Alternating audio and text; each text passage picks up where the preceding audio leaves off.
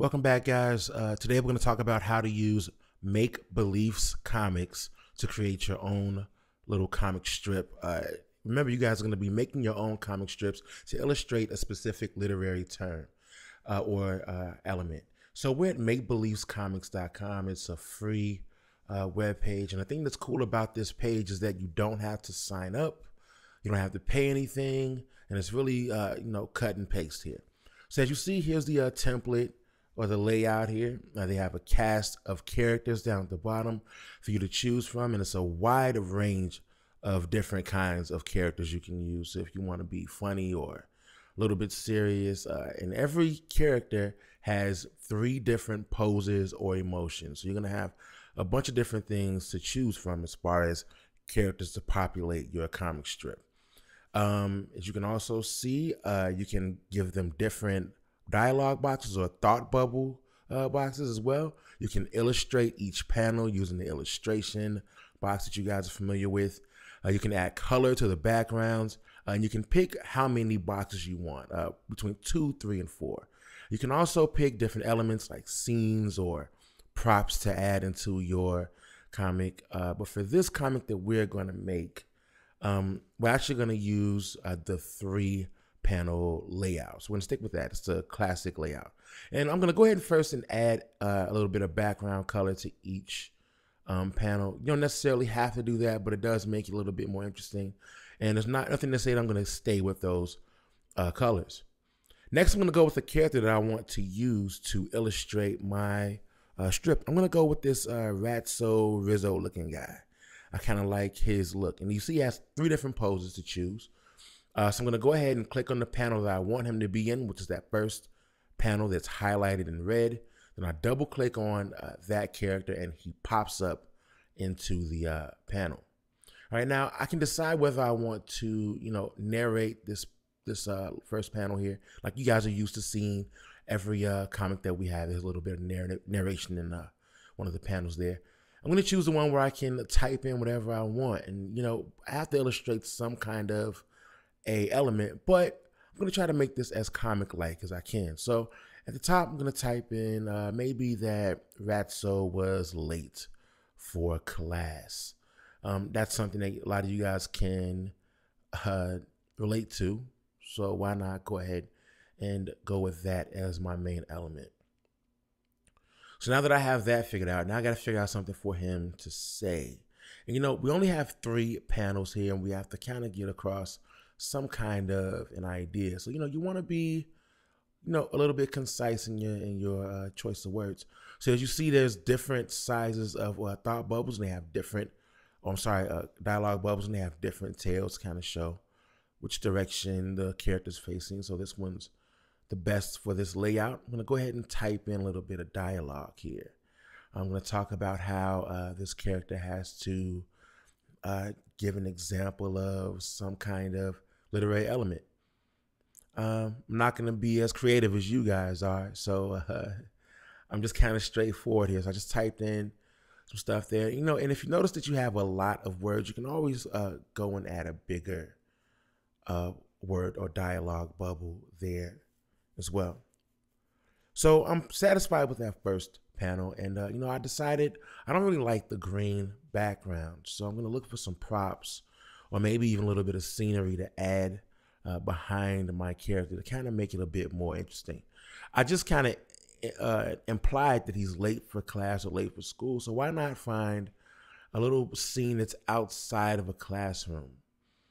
Um, and you know, this is one of those things where it's uh, has some limitations. It is a free, um, you know, user friendly uh, interface. So it, since it's free, there's not like a ton of customization here, but there is a cool scene that we can do there. It's in black and white, but you know, when you guys go to the share part, you can print it out. So I'm gonna go ahead and put the character in the second panel, and I gave him a different um, pose here, different face. You can make him as far away from the camera as you like, or as, as close to the camera. We're gonna kind of talk this this as if it was a film. You know, when you're making these panels. So you can zoom in on the character or uh, zoom out. I'm gonna make him the same size as he was um, in the other uh, one. And I'm gonna move him from side to side here using their move tool to kind of add some dynamism to the uh, panel, so it's not all you know cookie cutter and and regular. And I figured to kind of show that he's a little bit anxious there, I'm gonna flip him, just kind of show that he's uh, kind of maybe pacing or he's impatient. Uh, so you know that's two things you guys can uh, do here to kind of customize your comic.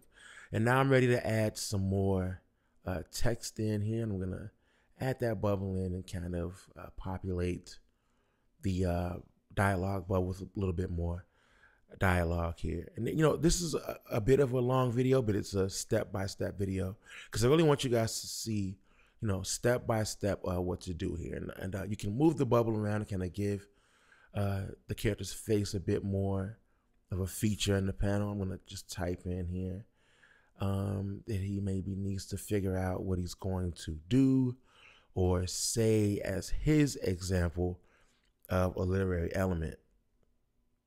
And if you notice here, it's actually really easy to do. I'm, um, I'm already, you know, two thirds of the way done with this comic. And, you know, just because it's uh, easy you know, quick doesn't mean that you have to, um, you know, stress about what to do here. So I'm going to go ahead and get started with my third panel. I'm going to keep the same background because he's still in the same place. I'm going to go ahead and pick my character here and, and give him another, you know, pose here. And you kind of can see the, the range. This is kind of the power of comics. See the range of the different emotions he's going through. In the beginning, he was confused. He didn't know what to do. In the second panel, he's maybe a little bit of a scowl there to kind of show that he's angry. And now in this third uh, panel here, I'm gonna you know do a little bit of something different, kind of show hey he's a bit more triumphant. He's figured this out. And this is basic uh, comic 101. You kind of show a little bit of dynamism, a little bit of difference here. So since I'm gonna say that the uh, element that this comic was supposed to illustrate was irony uh, I'm gonna go ahead and say something like, um, "I got it." The irony of this example is that uh, I am supposed to illustrate uh, irony, and my example, I am the irony. This entire comic strip is ironic that this person can't think of uh, how to illustrate irony, and yet he is the illustration of irony. listen, guys, I'll admit that's a little lame, but you know, it, it's a good example of, uh, you know, what, what you can accomplish using um, this format. So while I get done typing this up, I'm gonna go ahead and say, okay, I've got the thought that I want to uh, get across here done. I'm gonna do a little, just check, kind of read through it and review what I have here. It's all right. First panel's good. Second panel's good. Do I want to add any narration? No, I think I'm okay. So I'm gonna go ahead and go to the next step. So you see, there's a couple steps here. There's a review step where if you want to, you can kind of go back and say, hey, I want to edit something here. There's a print step, which will definitely be a part of what you guys do, especially if you want to uh, color it. And then the big thing that you guys are going to do next is to email. You're going to email this uh, to me as a digital means of sharing this project. Uh, so, of course, you'll put your first and last name. You can't get credit without giving us your name, people. So I'm gonna put student uh, name here and student I, the student uh, email here. Then at the bottom, you're gonna put my email, which is my first and last name at chsd218.org. So uh, you, will see that on my uh, School Fusion page as well, so you know where to send this stuff. And that's pretty much it, guys. Just using Make Believe Comix. You're gonna hit the email comic page, and then you're done. Congratulations, you have